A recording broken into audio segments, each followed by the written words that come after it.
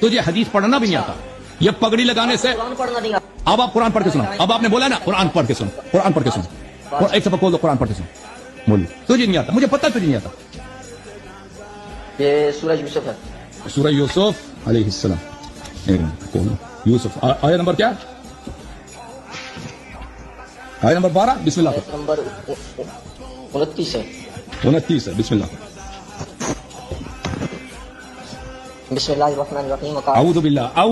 आऊद बिल्ला पैदा कराता जब कुरान ये कुरान की आयत है जब कुरान की तिलावत करो तो इससे आजा पढ़ा करो चलो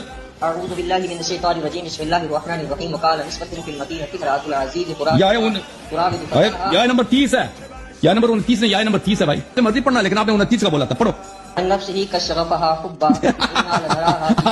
जार मजरूर से शुरू किया सबको पता है कि जब इंसान इब्तिदा करता है जार मजरूर से शुरू नहीं करता तुझे इतना नहीं मालूम तिलावत कुरान पगड़ी लगाई है कुरान नहीं पढ़ना आता कहां से पढ़ो तुझे तुझे कुरान पढ़ना आता है पढ़ो दोबारा पढ़ो और तुझे नहीं आता भाई ये कुरान की इब्तिदायात में से है कि- क्या इस तरह नहीं होता कि जहां से मर्जी शुरू करो बिस्मिल्लाह करो पढ़ो कशरफहा हुब्बा इन्ना लनराहा फी ज़लालिम मुबीन फलम्मा समिअता फलम्मा समिअत समिअत समिअत समिअत